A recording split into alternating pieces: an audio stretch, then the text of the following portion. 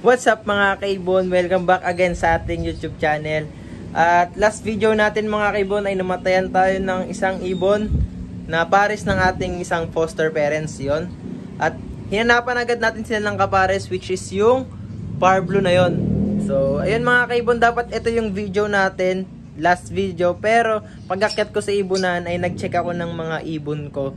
At ayun tepok na yung isa Kala ko mangingitlog lang kasi halos 5 days hindi ko nakita yung hen na lumalabas. Katulad nung katabi niyang foster parents natin.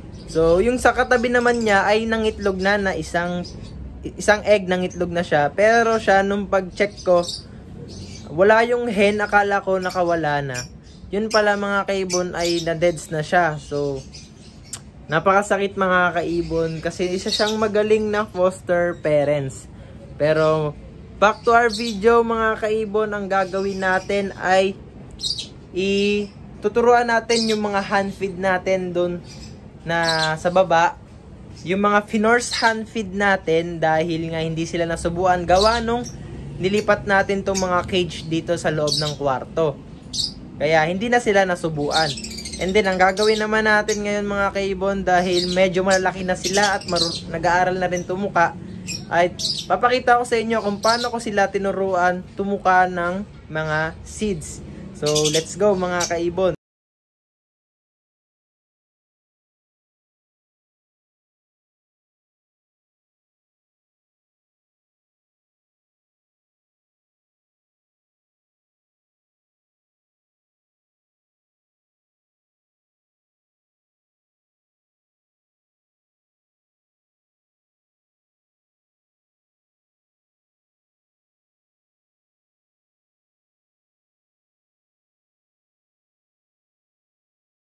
So mga kaibon, ito pupuntahan natin yung mga pino-force hand feed natin ng mga lovebirds. Yan. Sila yung mga hindi nasubuan gawa nga nung naglipat tayo ng cage. Napakalaki na nila nung nilipat natin sila. Kaya mahirap na silang i-hand feed nun.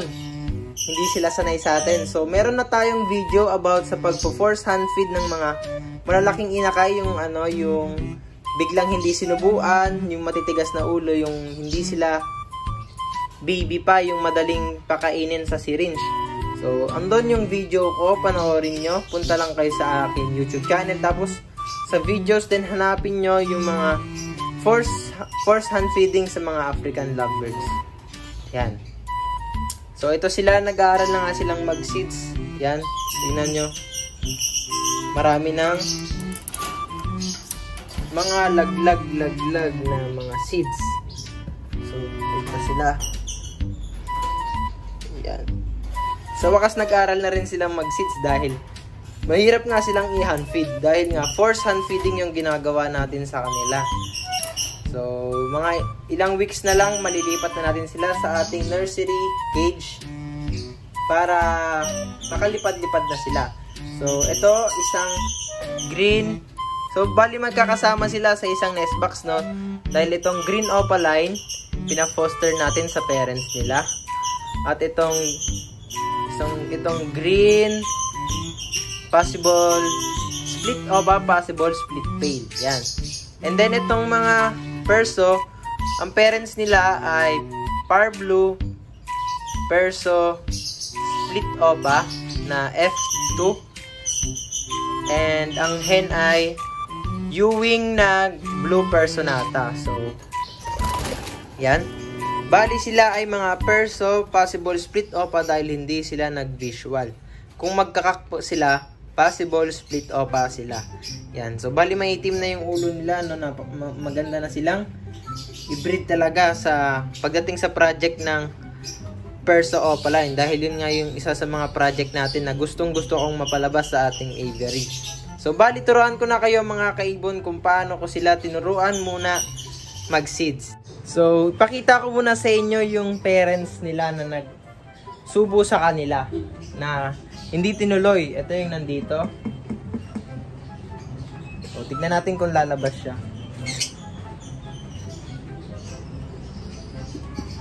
So, malapit na rin ulit sila mag-egg. Kasi nakikita ko yung hen ay dumidi pa na. So, ito sila. Yan. So nag nag-throwback pala yung Blue na yan pero F2 na siya. Kaya yung nilabas na mga Blue ay na mga perso ay may itim na yung ulo. Siya ay second generation. Tapos yung isa pa nilang anak kasi tatlo yung sariling anak nila. And late na siya napisa kaya nilipat ko siya dito. Sa ating split opa no. Na naginawa natin yung topic natin ng mga past videos natin no malamang kilalang kilala niyo na sila. At ito yung isa sa mga anak nila. So magaling din sila magpisa kaya nga lang hindi nga lang nasubuan ng tuluyan hanggang sa bumaba dahil nalipat nga natin sila ng cage dito sa loob ng kwarto. So ayun. Yan. So ito siya mga kaibon. So, di ko nakakuhanin, baka makawala. Pero ayun yung isa niya. And then, mga kaibon, nag-aaral ng mag-seeds itong mga babies natin dito. Yan. Yan, nag-aaral na silang mag-seeds. So, napakaganda ng violet, far blue, deaf violet, far blue opaline natin dito. Napakalinis niya. So, yan. And then, ito na nga mga kaibon, kung paano ko sila tinuturuan yung mga hand feed ko mag-aral, mag-seeds. Okay mga kaibon, ito yung ginagawa ko. Unang-una mga kaibon, naglalagay ako ng chick booster. Yan.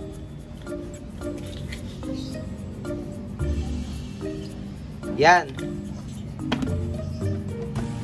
So bali mga kaibon, pagka first day na tuturuan ko sila mag seeds ay chick booster lang muna ang ilalagay ko sa kanilang cage. At syempre, una, malaki ang chance hindi nila pansinin yan. Dahil nga nasanay sila na uh, yung ano pa yung kinakain nila, formula, no? At ayun mga kaibon, hanggang sa unti-unti nilang pag-aaralan tumuka ng chick booster. Yan. So, unti-unti yan mga kaibon, di yan kakain agad ng marami, no? Bali, pag nakita nyo mga kaibon na consistent na silang kumakain ng chick booster ng 1 week, magdagdag na kayo ng oat growth. Yan. So, ito yung oat growth natin. Yan. Nagdadagdag ako ng oat growth. Yan. Kung mapapansin nyo mga kaibon, uh, yung malalambot pa lang muna yung binibigay natin, no? wala pang seeds dahil ang seeds binabalatan pa at medyo mahirap yan pag-aralan. Kaya dito muna sila mag-aaral sa ating mga malalambot na binibigay sa mga inakay natin, maging sa mga breeders natin. Yan. So sila nag-aaral na rin tumuka. Nag-aaral na rin tumuka. Pero yung kinakain pa lang mga chick booster, mga oat growth, yung malalambot pa lang, no? And then mga kaibon, unti-unti yan, huwag kayong mainip na mag-aaral sila mag-seeds dahil isa yan proseso. Lahat yan mga kaibon dumadaan sa proseso, no? Yan. So ito ang basic ingredients natin para matutong mag-seeds yung mga alaga nating mga hand feed o yung mga Finors hand feed natin o anumang hand feed mga kaibon pagka gusto natin sila turuan mag-seeds. And then mga kaibon ang technique kapag ka medyo malaki-laki na talaga sila. Parang kailangan na talaga nila matuto pero ayaw pa nila. Okay, mga kaibon, kailangan nyo na sila gamitan ng kaunting pagdidisiplina. Parang, una mga kaibon, kontian nyo lang yung pagbibigay ng formula. Siyempre mga kaibon, pagka tinuturuan nyo sila mag-seeds, ah, uh, Siyempre, hindi naman yan kakain agad ng marami. Kulang pa rin yung makakain nila. Siyempre, sinusubuan pa rin natin sila ng uh, formula. Pero mga kaibon, pagka kailangan na talaga nilang matuto at sobrang laki na nila, uh, ang gawin nyo naman mga kaibon, wag nyo silang bigyan ng formula o wag nyo silang i-hand ng formula ng umaga and then ito lang yung ibigay ninyo. So yan, mas sa ganung paraan mga kaibon, mas madali silang matututong mag seeds. And then talagang mapapersa silang uh, pag-aralan tukain itong seeds na to dahil uh, magugutom sila kung hindi nila gagawin yun. And then mga kaibon, pagka dumaan na yung mga ilang linggo na basic na sa kanila yan, magdagdag na tayo ng isa ng ano ng seeds talaga. Ayan. Kasi ito nga yung topic natin, tuturuan silang mag-seeds.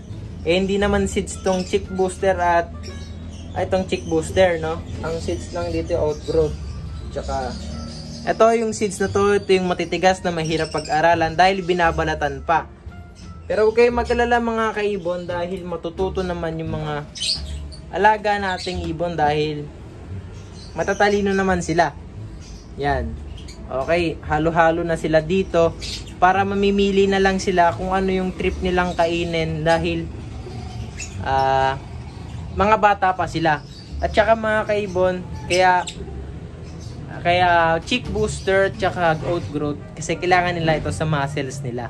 Itong seeds ay hindi sapat sa mga nutrition na kailangan nila. At minsan mga kaibon, binibigyan ko na rin ng gulay itong mga uh, force hand feed natin.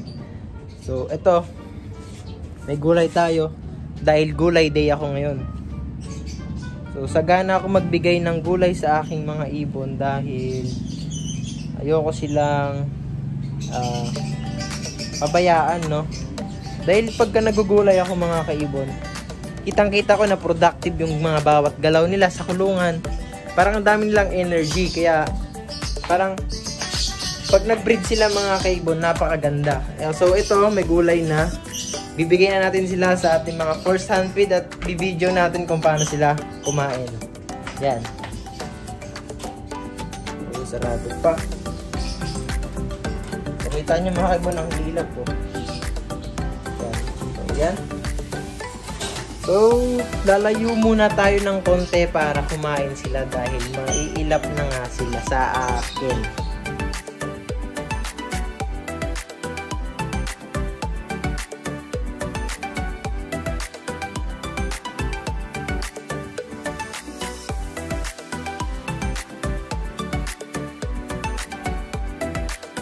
So ayun mga kaibon, tinime-lapse ko tapos umalis muna ako at sinisilip ko kung kumakain ba sila or kung naiilang ba sila sa camera.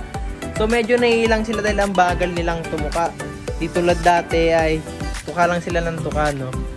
So ganun lang mga kaibon kung tuturuan yung mag-seeds yung mga African lovebirds natin. Unahin nyo lang yung mga malalambot na pagkain at sa akin binibigyan ko na rin sila ng soft foods para makatikim na rin sila ng gulay, no? dahil napaka-healthy nitong gulay para sa ating mga African lovebirds.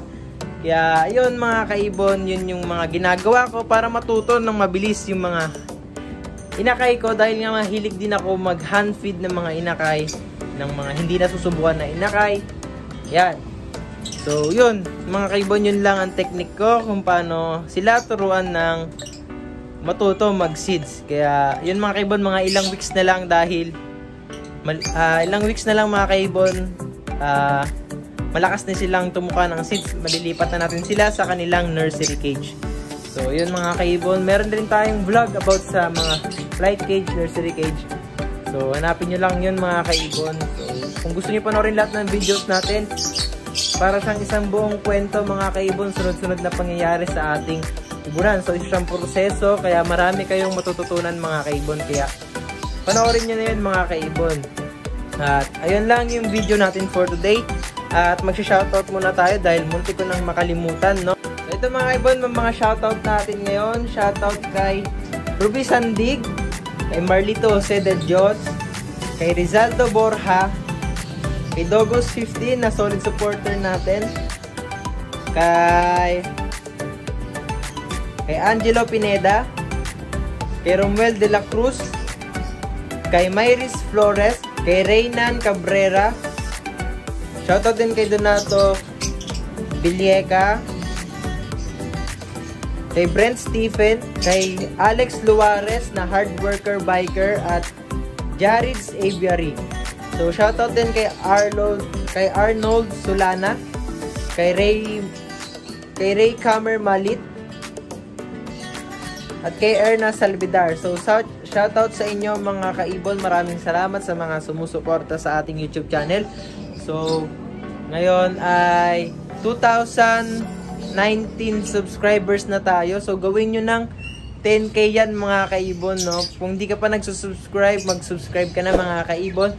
Dahil matutulungan ka ng mga videos natin at Papakita ko sa inyo ang proseso ng pag-iibon, hindi lang ang resulta ng mga matagal na nag-iibon na nakikita natin dyan sa internet. So, yun ay matagal na resulta na. So, ngayon ito yung simula ng pag-iibon. Makikita nyo dito yung mga ups and downs. So, last videos nga, last video nga natin, namatayan tayo.